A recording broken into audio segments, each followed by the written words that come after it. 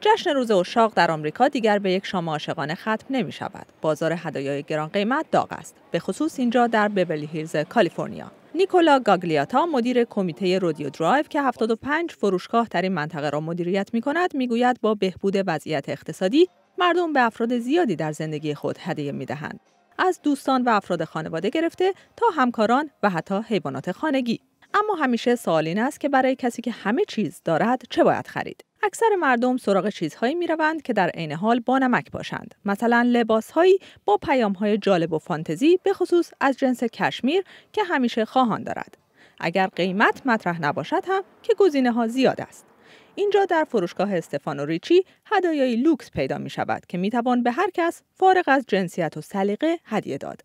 از کراوات های 3000 دلاری برای مردان تا یک ست چای 5000 دلاری